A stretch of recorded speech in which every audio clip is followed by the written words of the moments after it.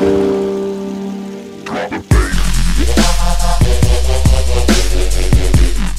Hey guys, what's going on? It's Jake here, and today there's been a third Easter egg song found within the map Origins. Now what you have to do for this in the spawn room is lie down and hit X on the two ones that are near generator 1.